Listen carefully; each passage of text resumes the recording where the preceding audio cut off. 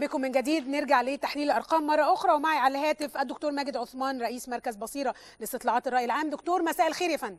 مساء النور أهلا وسهلا. يعني بعد ما يعني الدنيا خدنا برهة كده إن إحنا نبص على الأرقام أو المؤشرات الأولية طبعا لسه النتائج ما طلعتش. احب أسألك على الأصوات الباطلة. وأعتقد إن كان ليك وجهة نظر في هذه الأصوات الباطلة.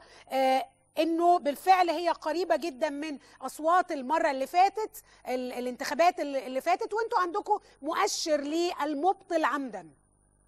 بالظبط. هو الحقيقة أنا أنا كمان بصيت على انتخابات الجولة الأولى في انتخابات الرئاسة الماضية 2012 حضرتك عارف إن الجولة الأولى كان في كل ألوان الطيف السياسي فما كانش في مبرر لأي حد يقاطع أو يبطل صوته عن عمد. وكان عدد الأصوات الباطلة في هذه الانتخابات حوالي 400000 في جولة الإعادة عدد الأصوات الباطلة زاد من 400000 ل 800000 فيبقى إحنا بنتكلم على 400000 هم الناس اللي ربما يكونوا بي بي بيبطلوا الأصوات عن غير دراية طريقة الانتخاب. ارتفعوا في الجولة الثانية لانتخابات الرئاسة ل 800000 وارتفعوا المرة دي لمليون.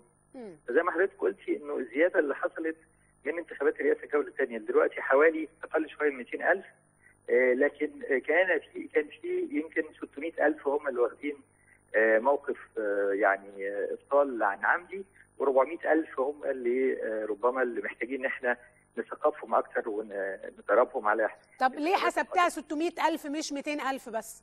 لأني في لما بصيت على انتخابات الرئاسة اللي عام عام 2012 الجولة الأولى مقارنة بالجولة الثانية الجولة الأولى كانت 400000 أصوات باطلة والجولة الثانية كانت 800000 فبالتالي الزيادة اللي حصلت في مدى أسبوعين دي في الغالب يكون موقف سياسي ما هواش عدم المام بطريقة التصويت. فعشان كده بقول إن 400000 الأولين هم دول التقدير بتاع الإبطال الغير مقصود و400000 هم الإبطال المقصود في 2012 يضاف إليهم 200000 جداد فإحنا بنتكلم على حوالي 600000 اللي هم يعني لا يشكلوا نسبة كبيرة ولكن محتاجين ان إحنا أيضا ناخذها في الاعتبار لا سيما وانها في هذه المرة نسبة فاقت النسبة اللي حصلوا عليها الاستاذ حمدين صباحي.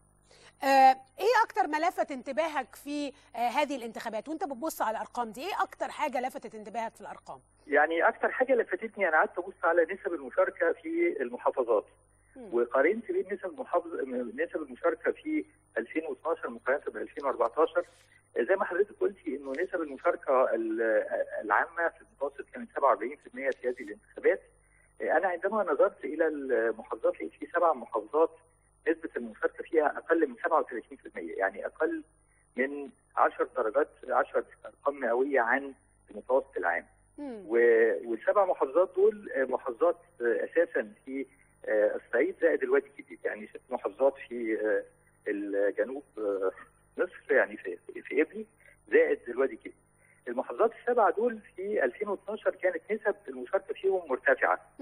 آه يعني لا سيما مثلا محافظة زي الفيوم كانت نسب المشاركة آه 50 و6 من عشرة بقت 30 و4 من عشرة. فهنا فرق كبير قوي. وده طبعا بيبين عن إنه دي الكتلة بتاعت الإخوان اللي قررت إنها لا تشارك. لو حسبنا كتلة الإخوان اللي قررت لا تشارك نلاقيها إنها الحقيقة كتلة آه يعني تدل على إنه هناك قادمين جدد لهذه الانتخابات. بمعنى إنه في ناس عوضت حجم الإخوان الحقيقي في مصر.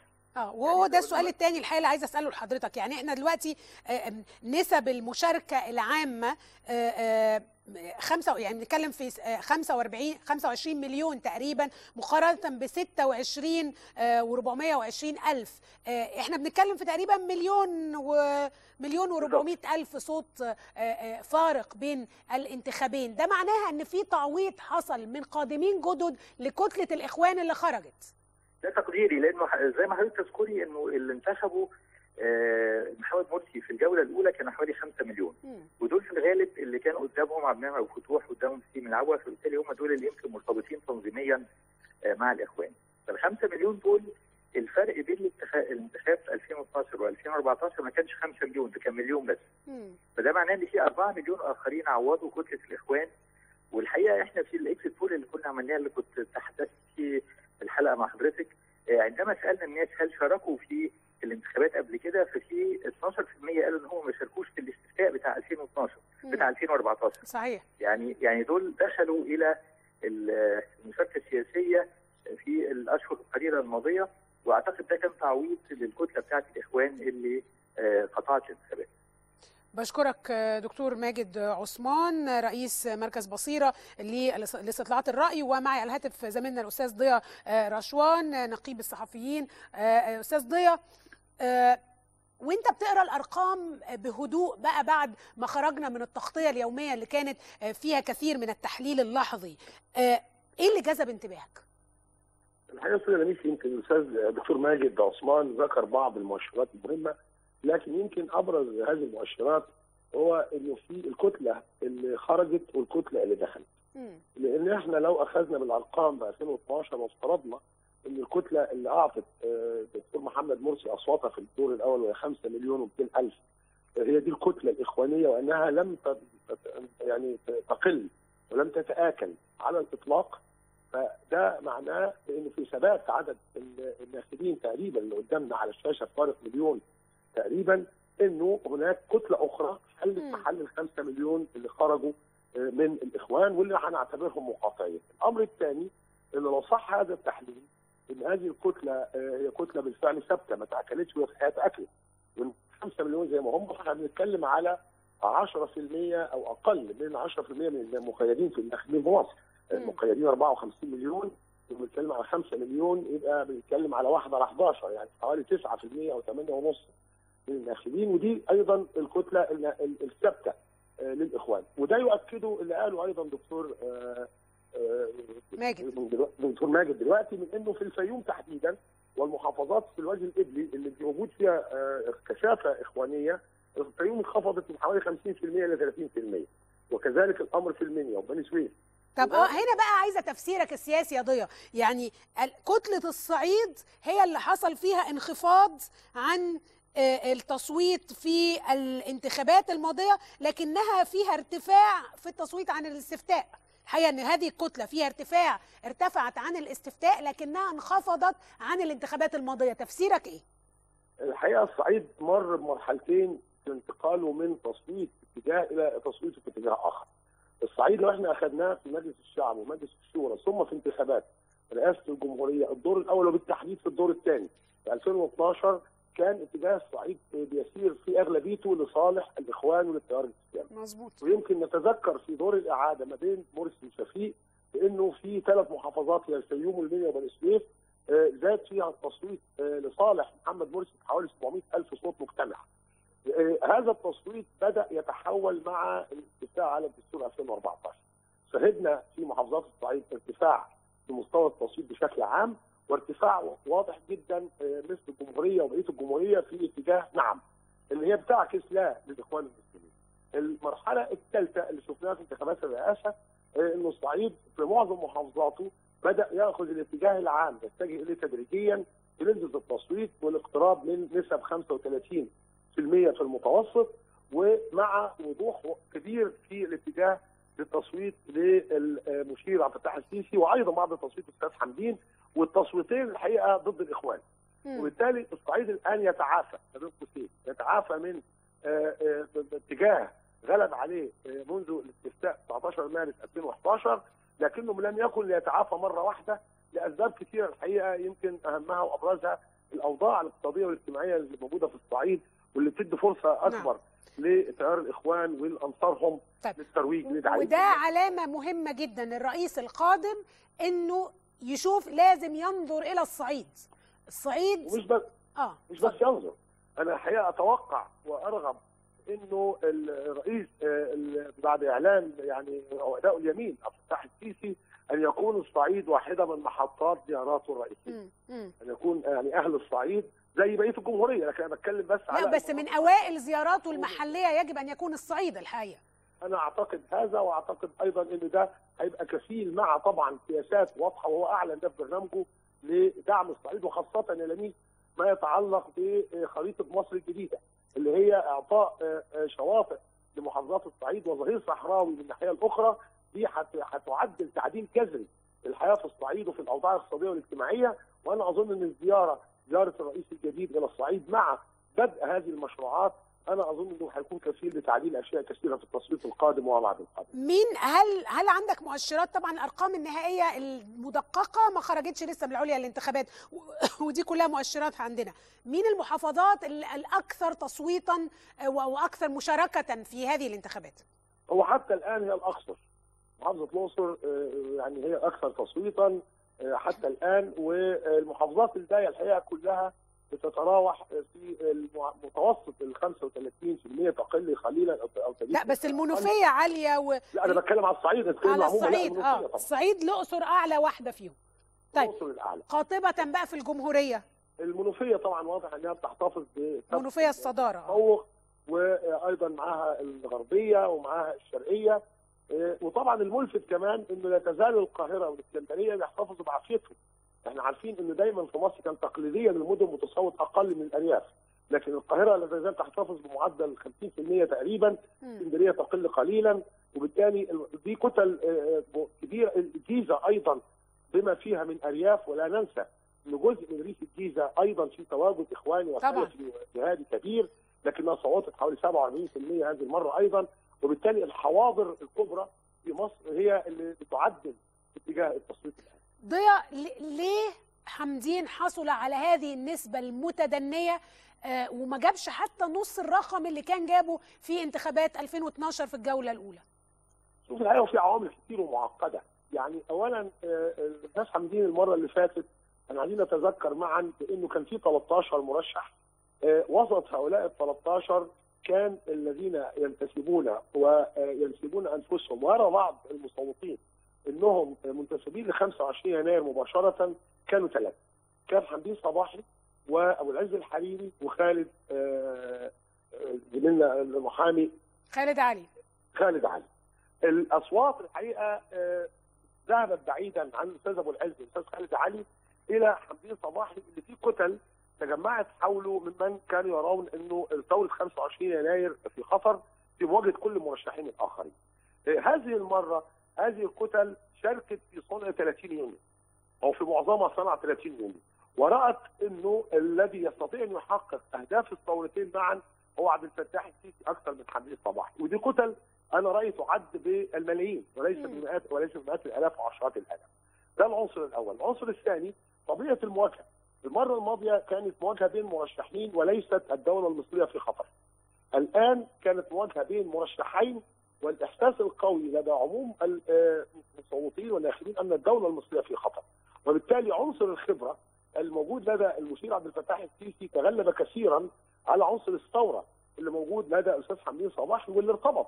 الحقيقة يعني صدقا أو كذبا عند كثير من الناخبين بانه عنصر الثوره بيعني تهديد الدولة وانه يعني استمرار حاله الفوضى وبالتالي انصرف قطاع آخر. الشيء الثالث انه الأربعة مليون أو الثلاثة مليون أو الخمسة مليون اللي حلوا محل مصوتي الإخوان كانوا في غالبيتهم اتجهوا مباشرة إلى المشير عبد الفتاح السيسي لأن هؤلاء كانوا الأكثر شعورا بفكرة تهديد الدولة والخوف الحقيقة التجربة الإخوانية يا لميس أعطت درجة من الخوف والرعب. عند المصريين بحيث طيب. كانوا يحتاجون ده ده ده خليني لازم أسألك سؤال. أن المصريين انحازوا للدولة وليس إلى ثورة أخرى. المصريين شوفي عشان أقول الصياغه أدق من المصريين كانوا منحازين للدولة ولم يكونوا ضد الثورة. لأنه المشير عبد الفتاح السيسي بالنسبة لهم بيمثل الاثنين. يمثل الدولة ويمثل الثورة لأنه 30 يونيو. بالطبع لأنه الحقيقة المغامرة الكبرى اللي عملها المشير عبد الفتاح السيسي ومعه القوات المسلحة والشعب قبلهم كانت مغامرة ثوريه بدون شك لأنه كان ثمنها فادح كان كان ممكن يكون رقاب كل هؤلاء الناس وبالتالي هم ما كانوش ضد الثورة لكن كانوا هم أكثر انحيازا لدولة تلي نجاح الثورة. طيب بالتالي العنصر الأخير أيضا إنه الاستاذ حمدين عدد من الأصوات اللي كانت معاه المرة اللي فاتت حقيقه أخذت موقف المقاطعة المرة دي. طيب كانوا في معظمهم من الثوريين آه ده بقى يخليني أسألك عن الأصوات الباطلة. الدكتور ماجد بيقول بيقدرها بأنها المبطلة عمدا لو من المليون ده 600 و400 عن خطأ أو جهل. هل عندك نفس التقدير ولا شايفهم 200 بس أنا في تقديري كده إن هم 200 إذا قارنتهم بال 800000 أو 843000 السابقين. بتقيمهم إزاي المبطل عن عمد؟ لا إحنا طبعا لو احتفظنا بنسبة اللي ابطلوا بدون عمد هتبقى هي نفس النسبة في الانتخابين تقريبا. مم. يعني بنتحدث عن 200000 حسب تقديرك. أنا ممكن أوافق على هذا التقدير. 200 أو 250 آه 200 250 في الحدود دي. آه. من الانتخاب الحالي اللي هو الناس لأسباب تتعلق بالتعليم أو بضعف النظر أو بغيره. وبالتالي يظل عندنا هذه المرة حوالي 3 أرباع مليون صوت. أنا أظن إن هم أبطلوا عمدا. جزء منهم ربما يكونوا من الإخوان المسلمين. اللي هم ما يعني ما رغبوش بان يقاطعوا وأن يتركوا أثرهم على العملية الانتخابية وجزء منهم من شباب الثورة اللي لا يعني معلش من من المليون يا ضيا يعني إذا كان المبطلين اللي كان الأصوات الباطلة في انتخابات اللي فاتت كانت 800 مليون صوت ففي الانتخابات دي إحنا عندنا أصوات باطلة مليون. كم منهم متوقع إن هم عن عمد وكم منهم عن خطأ؟ أنا أظن 3 أرباع مليون عن عمد. 3 أرباع مليون. أظن 3 ارباع مليون عن عمد فئتهم زي ما بقول لك جزء منهم إخوان مسلمين مم. شاءوا أن يبطلوا المشهد من الداخل جزء منهم شباب من الثوار اللي كانوا شايفين وده إحنا شفنا شعارهم اللي كانوا بيدعوا حامدين للانسحاب وكانوا غير راغبين ومتأكدين من نتيجة المعركة الانتخابية وبالتالي كانوا يعني يبقى نضعوا بصماتهم وجزء ربما من القوى السلفية اللي يعني بعضهم كان بيطيع قيادته في العلن ويرى إن هو بيطيع ربه السر فلا يعطي صوته لأحد من المرشحين غير المقتنع بهما وبالتالي 750 ألف إحنا بنتكلم أيضا على نسبة حتى بالقياس للتصويت العام. نسبة طبعا ضعيفة جدا. مم. آه يعني حوالي 2% تقريبا أو 1.8 من عشرة من إجمالي المصوتين اللي صوتوا عمدا بالباطل. ومن هنا يا لميس الحقيقة أنا يمكن في توصية لجنة المتابعة الدولية يعني اوصت بيها وإحنا الحقيقة كنا أيضا في ال CBC Extra اوصينا بها في برنامجنا قبل كده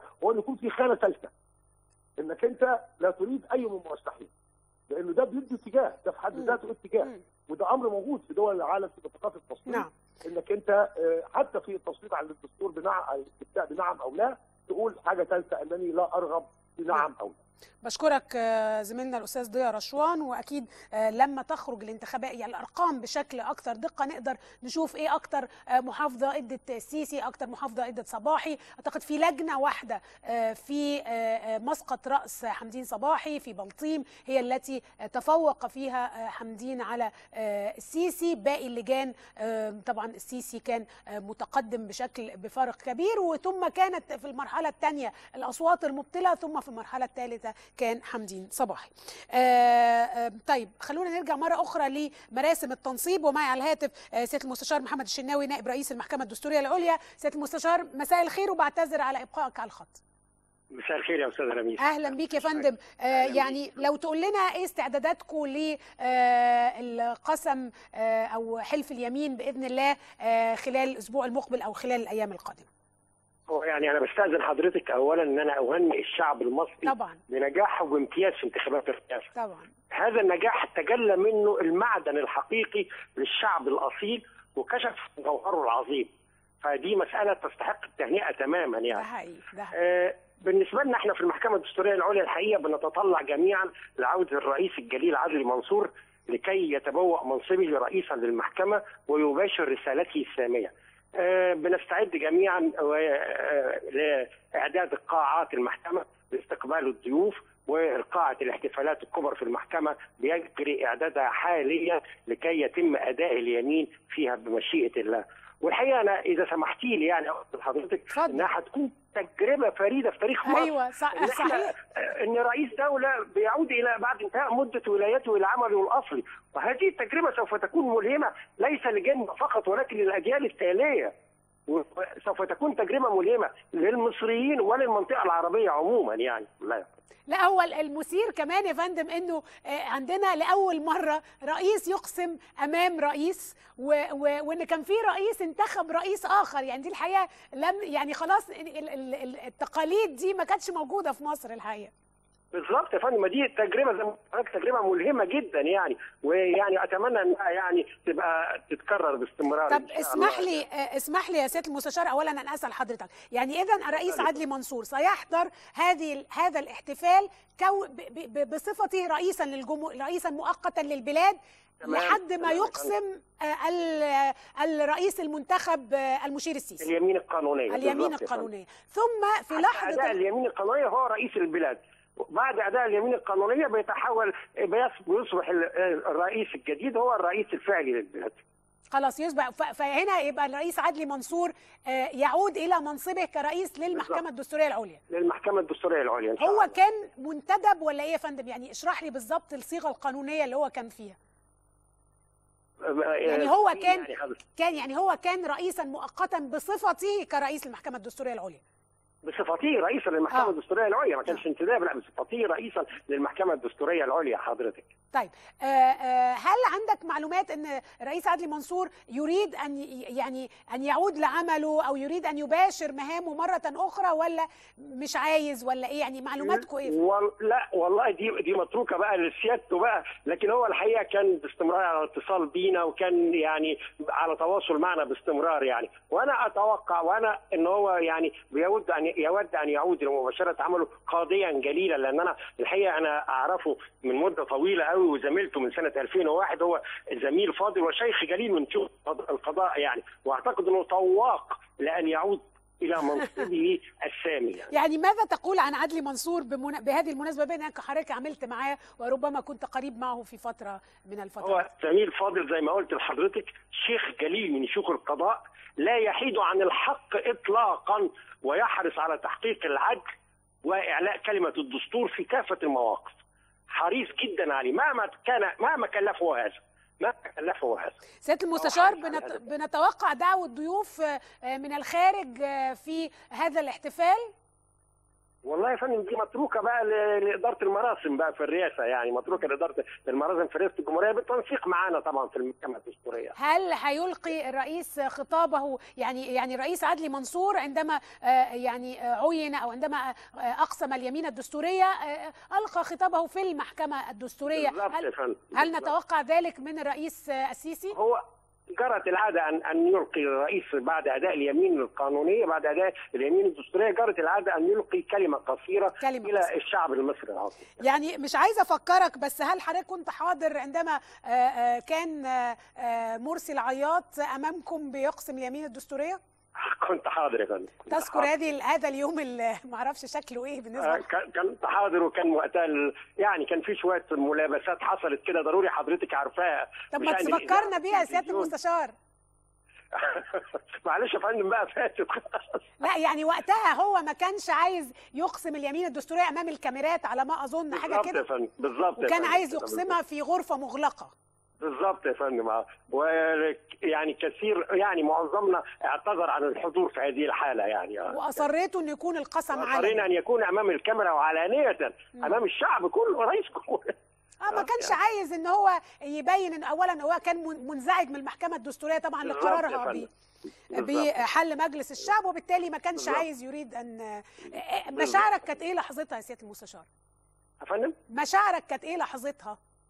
لا ما إحنا حضرتك إحنا عدد كبير مننا امتنع قال انه اعتذر عن الحضور وطالما إنه لن يذاع على الهواء فاعتذرنا عن الحضور يعني لأن كانت مسألة فيها تحمل شيء من ال- من الجرح للمحكمة والأعضاء المحكمة. أنا مش عايز أقول إهانة لأن ما حدش يقدر يهين المحكمة نعم. الدستورية ابدا. لكن هو كان في جرح للمحكمة والأعضاء المحكمة طبعا يعني وتقليل من شأنهم يعني. بالظبط فعشان كده كانت مسألة يعني مش ظريفة اطلاقا. يعني بشكرك آه، وفي يوم من الأيام لازم هتكتبوا الكلام ده للتاريخ. بشكرك سيد المستشار محمد الشناوي نائب رئيس المحكمة الدستورية العليا. ربنا لا يعيدها أيام.